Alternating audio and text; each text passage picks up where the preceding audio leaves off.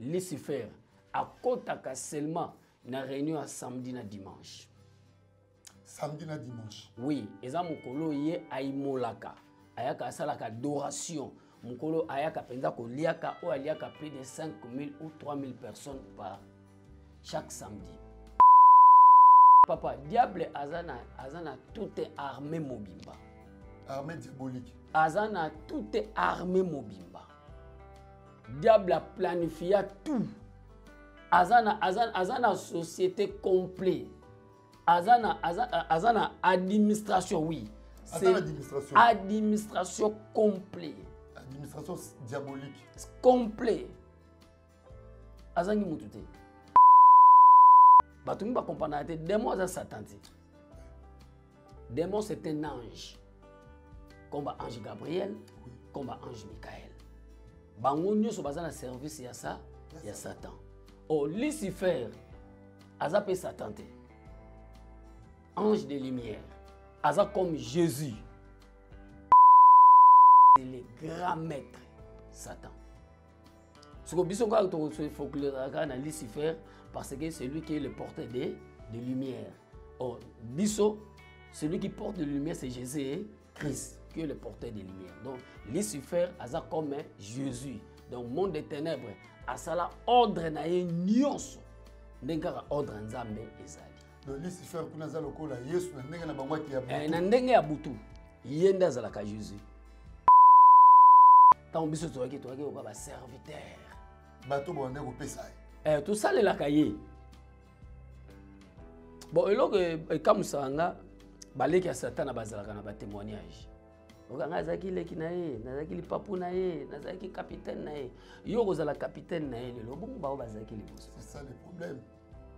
papa ngai naloba lokola nazalaka na nga capitaine te nazalaki abenga nga parmi baserviteur na nga hmm. donc je servi ya satan mpo aza déjà na ordre na ye hmm. siko mpo yo akokóma lokola capitaine wana oyebi meme na ekipe ya bale mpo batya yo capitaine oyebi makambo oyo okosala somo o convaincre ne eloko nini ebele ya bato baa babonisi alors bato baeshue bazalaka beaucoup plus attaqué mpe baeshue bakota na makambo wana eza basi mpo basi baza bapremier bonisi ya satana mwasi alelaka praka mwasi azalaka kaka na mposa mwasi atakutana na mobali kaka sikoyo azalaka na mposa eloko moko mwasi ata akutani kaka na mobali na telefone aza kaka na posa e surtout meme na réseau so okutani na mobali kabela ngai me oyebi ye tomona ye te oyebi ndenge afonctionnaka te na minute oye mpe bazosenge moto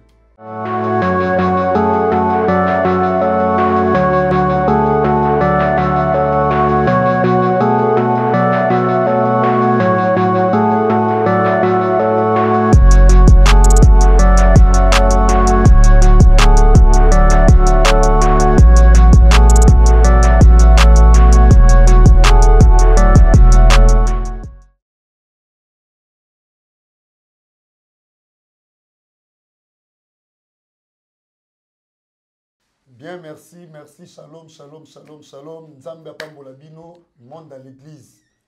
Émission à Jésus-Christ de Nazareth. Nzambe langa azala nzambe na bino. Na sepel makasi ko présenter émission à lelo na pasteur Alpha ou azali invité na biso naturel ou tozo continuer ne ba numéro na mukolo ya lelo tika kolo apambola bino partout na monde entier bien aimé. Bo s'abonner massivement, bo s'abonner, bo partager, bo aimer. video bo partager lien et nzambe na nga kolo yesu kristo kozangisa te kobenir bino partout bana na nzambe naza na esengo ya kozala liboso ya baekran na bino partout bandeko bolanda biso mbote shalom encore de plus na bandako na bino merci beaucoup mama colette carlo depuis londres sere na nga marie konga bea na kati ya londres napesi lisusu mbote makasi na mama na biso awa na kinshasa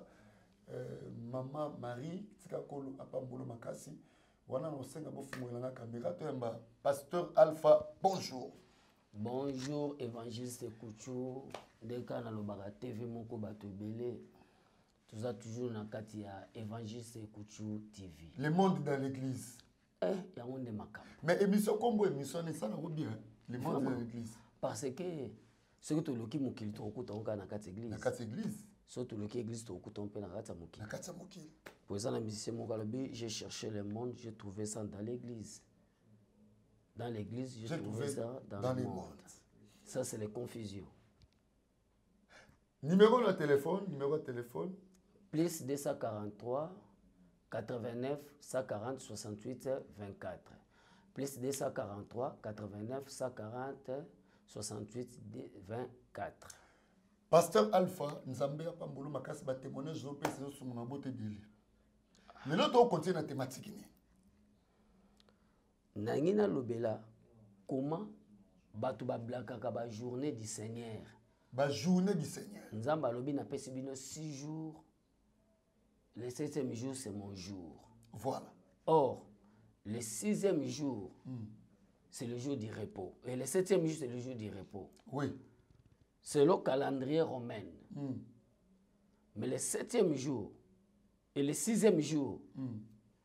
dans le monde satanique c'est le chiffre 6 ya création ya homme mm. mokolo nzambe acreye mutu acreyaki ye na 6e eh, jour mm. amonaki le atufe ebongi asala nini apema nde apemaki or mokolo nzambe akelaki mokili mutu nde makambo nyonso esala nini ebanda mpo na deuxième monde eza na demo babengaka sankai oyo adirigeaka le jour de samedi Satan a travaillaka de lundi au vendredi wana ezalaka ba rassemblement moko ya bademon ezalaka kaka bademon mais lui même le grand maître lucifer akotaka seulement na réunion ya samedi na dimanche samedi na dimanche oui eza mokolo ye ayimolaka ayaka asalaka adoration mokolo ayaka mpenza koliaka oyo aliaka plus de 5000 ou 3000 personnes par chaque samedi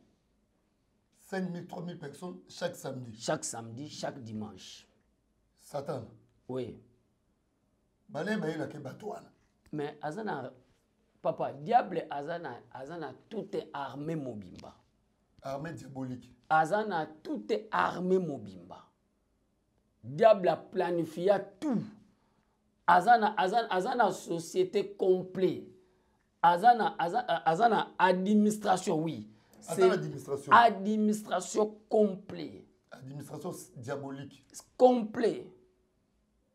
azangi mutu te azangi mutu te wakende okangela ye donc diable atravaillaka na basoda na ye oyo baza bademon bato mingi bakompanaka te demon aza satan te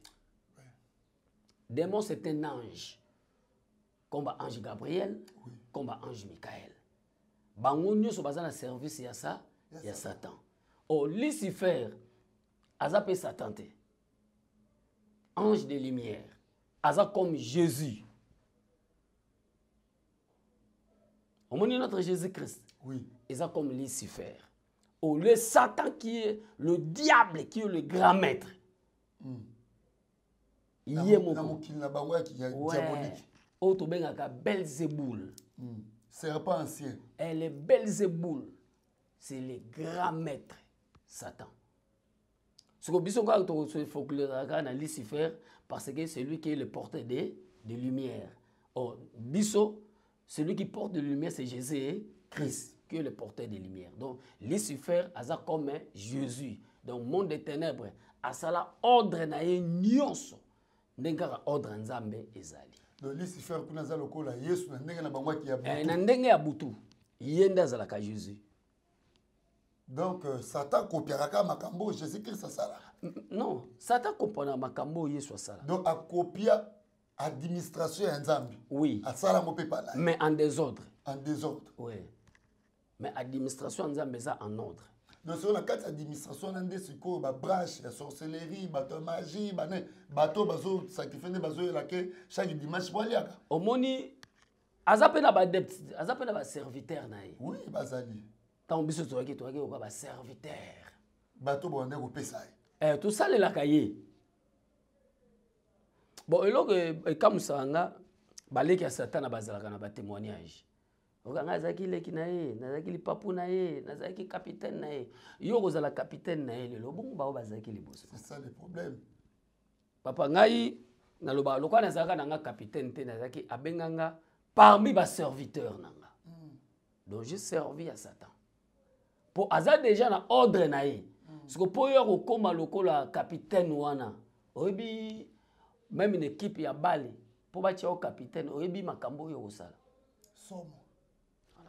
oconvaincre ene eloko nini tala biso toyaki na mouvance omona mpenza apesi yo ordre opesa ye 47 personnes chaque jour un grand mouvance 47 personnes chaque jour eh, un grand mouvance yo opesa ye déjà ah papa bongo bato omonaka nyonso na nzela balekani papa boniste ebele ya bato baa baboniste alors bato baeshue bazalaka beaucoup plus attaqué mpe baeshue bakota na makambo wana eza basi mpo basi baza bapremier boniste ya satana mwasi alelaka kaka mwasi azalaka kaka na posa mwasi ata kutani na mobali kaka sikoyo azalaka na posa eloko moko mwasi ata akutani kaka na mobali na telefone azalaka na posa e surtout meme na réseau so okutani na mobali kabela ngai me oyebi ye tomona ye te oyebi ndenge afonctionnaka te na minute oye mpe bazosenge moto tala eh, peti na biso moko nga nayedaka ye nayedaka ye mpo akutana ye na femme moko boye awutaki na monde monde astral awutaka na monde astral na monde satanique bakutani na nzela ba, ba, ba whatsapp banzela ba, ba, ba facebook, Facebook voilà. basali amitie papapa bandi okende bandi okende bandi okende epuis amitie wana ekolaki bakomi kotindana bafoto ya mitakala oyo atindeli moninga foto ya motakala oyo mpe atindeli moninga foto ya motakala bandi koyeba omoi mpe heure moke babandi osala lokola baosala rapport na appel video mpe pa mobali aejacule hmm. azali kaka na petit so aejacule te zwa papier zwa papier tya ekoya pamba te zwa yango eh, ah nasepela chéri soki tosi ejakile namona yango na video otya yango likolo ya telefone imao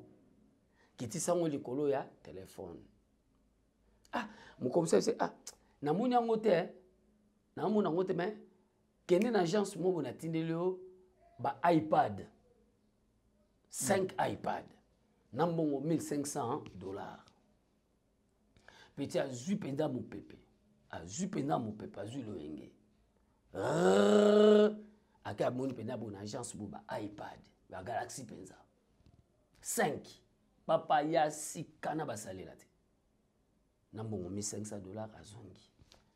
Ba ba télécharger biloko na bango wana ah João Bakoti.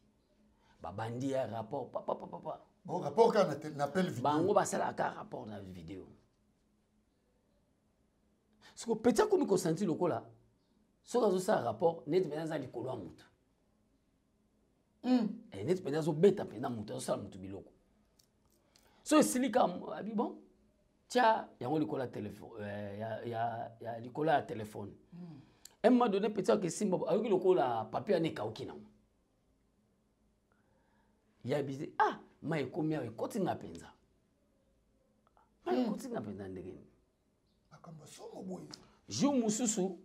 oke petit oyo aloba azokopa te azobomba mokolo mosusu abima kote ya bapascal boye azokende abeti libaku hmm. pa azoki apele mbala moko ekoti ah sheri nde outi obeta libaku namoni tozoki e eh. mozala papier mouchoir moko te ya bi azwaka makila na simba tiango likolo ya telefone peut-être akatiaki bo contact mbala moko un grand contact esalami oyebi eza na bato ebele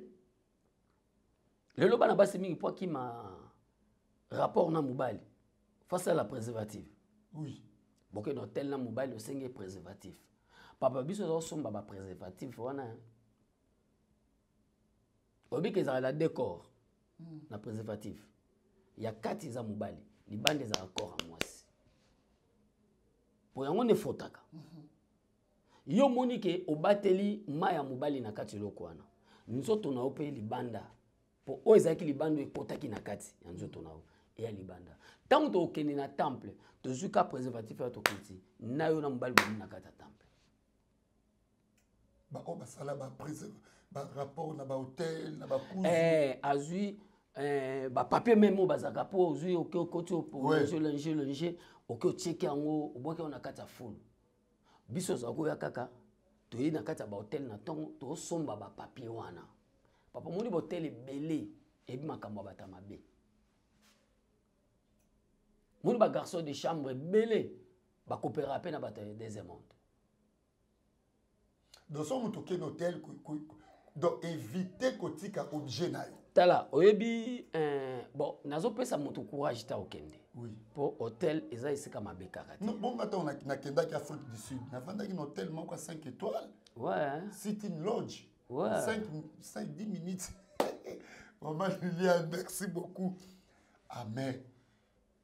mais nayebisi yo hotel wana depuis ngai nabotama naokota hotel wana na kindoki ya famille naokota ndenge nini mais na kindoki ya yesu kristo na kindoki ya yesu pa nakoti nati ata mouchoir na nga nagumba nagumba nagumba nagumba esala liboke nakoti ola valise wu nazonga nango kinshasa eh, papa omoni nga nde naza boye meme so na ye te ya pa na yo eh. nasepela te bapapie mouchoir na nga botika o remarquer nazalaki lobi na église na yo nazwa ba papier na okotisa ngo na saki na nga ouais. oyo nyonso natokaki e eh, natika eloko te mpo nayebi te nani na nani akozwa ngo nini akoki esalela ngo omoni ke moto akoti na kati ya chambre me ozela biloko na yo ya kati osaleli bato wana bakobimisa yango est ce que oyebi bato nyonso basalaka kati hotel obiba bata dame na bango alors bato eloko bazobeba mpo bayebi te esika eloko bazosala e dans ce cas la biso oza koprofite okila bahotel eh, toye na batongo déjà ba 5 heures 6 heures 7 heures toza biso wana tokokola ntango boyino bozobima bango bakokombola biloko wana bakokenda yango eh, ah, tata toyeti bayebi kaka ke bakokanga bapapie wana mpo bayeli biso ale biso tozwi tableau tofungoli temple tobandi otala etwale ya moko na moko na moko ah, oyo aza na bana combien oyo aza na makambo combien oyo nini vine eza nini bozozo bon ça va surtout aki na posa 10 personnes tozwi 10 papier totiango mwa mosusu tobwaki yango kaka bongo Ah, biso wana tokangi soki ya kobebisa bavi na bango tobebisi bavi na bango soki ya kobebisa kobota tokangi kobota soki ya koboma bango bobomi bango tout est na administration tout est na administration donc biso toyaki wana na service wana donc nous otie des serviteurs ya quelqu'un waza kopesa biso misala papa totravaille na ndenge ya moke epuis biso oza kotambulaka ya groupe epuis na groupe wana tozokeka bata misiki e na groupe na biso so oza biloko te oya te soki ngai so natamboli na yo hmm. ngai bato ebele bazalaka kopesa ngai mpe mbote te soki bakopateke na vanda na bamokali nakopeka na bato bakenge asani de soko naotunaki yo ngai na opesa mbote mpo tosala na oni yo ya moto ya thématique te fo nasona ya bato ya thématique hmm. c'est grave donc fo nakopera na bato ya thématique donc ezalaki mpo na biso bowumbu ezalaki mpo na biso esclavagisme papa chaque jour faut servir moto wana diable chaque jour tala bana nzambe baservira nzambe chaque jour te mwana nzambe fo ake epesa mpa nzambe fo eglize esenga ye epuis pas maître baponelaki eloko te satan baponelaki eloko te baponelaki eloko te yapona ye moko soki akopona kasi apona mpe mpa na yo papa nayebi biso ya satan aponelaki eloko te mm. satan okopesa ye eloko oyo ozokanisa te une fois na groupe na biso na camarade na biso aza na ye azala na leki nde moko mayele makasi mm. tokomi na koblame ke fo bapesa biso fo apesa leki wana blame ekomo ya fapesa leki wana tosala nini tocreye maladi moko bocreye maladi tocreye maladi moko oui. ye azwa yango alors biso bato tomemi na hôpital bocreye maladi ya zwi oh. bomemi na hôpital après ntango bomemi na hôpital et puis maladi yango toko créer fo ezalaka na pokwa po flèche oyo bobete bato bamona yango te mm. hey, eh, moto akweye biso ozalaki tovandi na avenue moko bana eh, kivuila nde bayebenga biso te me bino nde bosala eloko wana eh.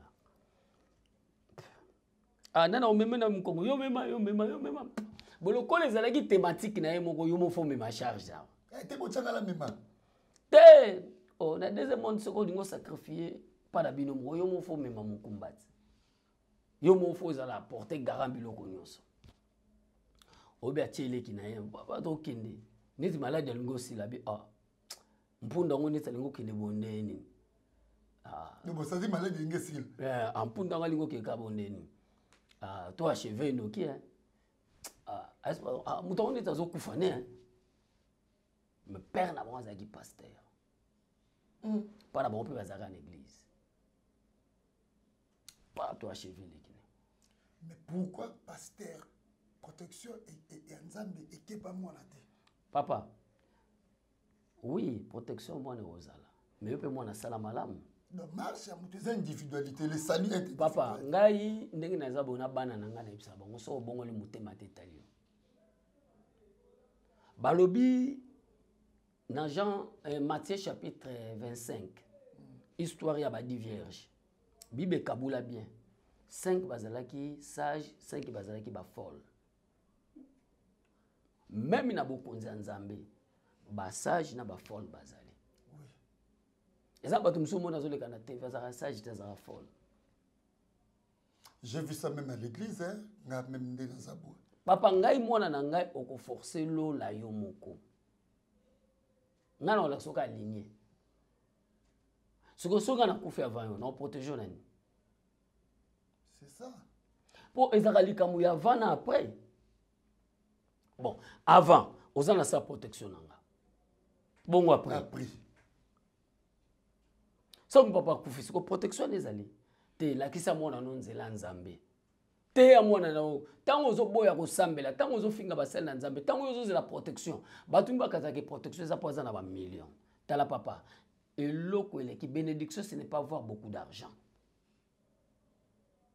ozoka papa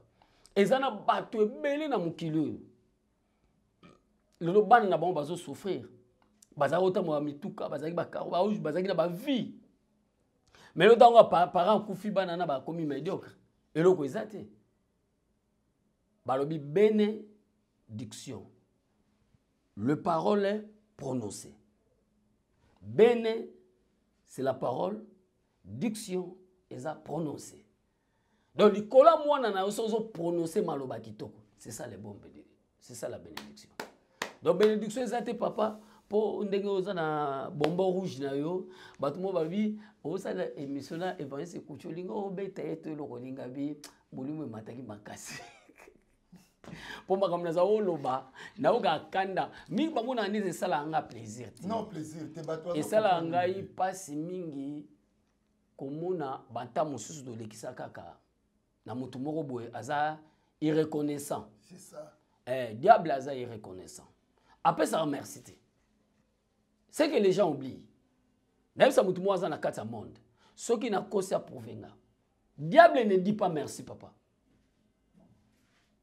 epai diable atopesi ye bakanti na mbongo cet homme là ne dit pas merci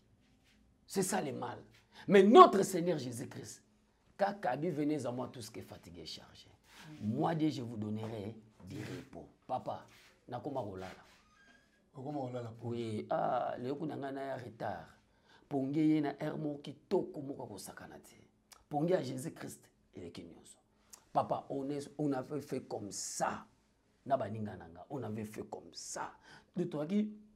vie moko tozodépendre susu na vie na biso te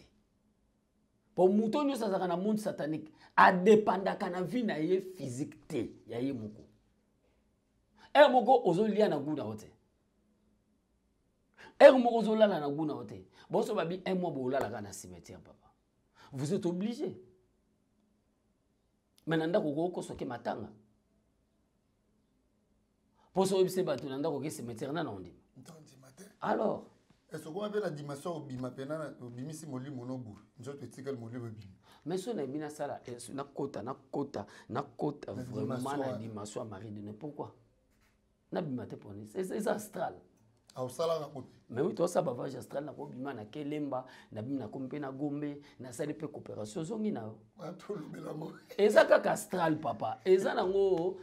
eza mpe leoti na basali na nzambe te awa ah, basorcier oyo bazokota makambo nzambe bateyaka biso surnaturel omo te bapase bakomaka na mateya surnaturel surnaturel surnaturel eza nango mot français bon bango sikoyo bazwi koutilisekasi non tozomema papa nyonso ezalaka na deux sens vrai ou faux okay. vrai ou faux yango nayebisaka bana nzambe vrai soki eza faux soki eza te vrai eza te vrai soki eza te faux mpe eza te merci beaucoup na batata nyonso ya jésus christ mpo na lelo tomoto suki awa napesi bana notre père nyonso mbote problème mpe ya telefone ezotungisa ah nangi nalobela ya telefone to nalobela makambo ya ndako mpo toza na likambo eza primordial papa eglize ezolala liba libanda toluwaka obene edod amoni arshe ya nzambe ezotelengana azwi yango ake nango wapi na ndako bapambwamaki parce que david c'était david abangaki ntango ebomi u uza, uza. abi te oyo ekomi eloko mosusu koma eloko ya nzambe komoboma mais balobi un étranger Oben Odod alobi te nazwa yango meme ezoboma bato namema yango wapi epa na nga bible elobi na baétranger bazalaki na ndako nini basalaki nini bapambwamaki ntango cité de david bamoni eh, eloko nzoka epombola bake kosani bake kobotola yango bazo yaya yo kobotola mapamboli ya bato nyonso ntango lipamboli no ekoya ntango okopesa biso lopango ntango okopesa biso mbongo naza na posa ya telefone naza na posa ya tablete biloko wana ezosunga nga telefone mpo nabenga awa nazopesa bino limero tablete nazaka na posa na yango nakotisa mwa batravail moko na ngai nasala mikolo oyo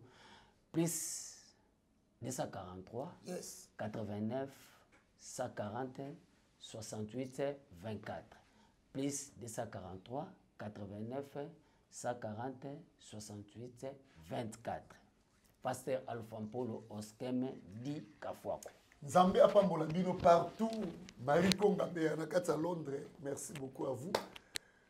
sere na nga safi marila nkolo apambola bino tokomi presque na fin mpona nimero ya lelo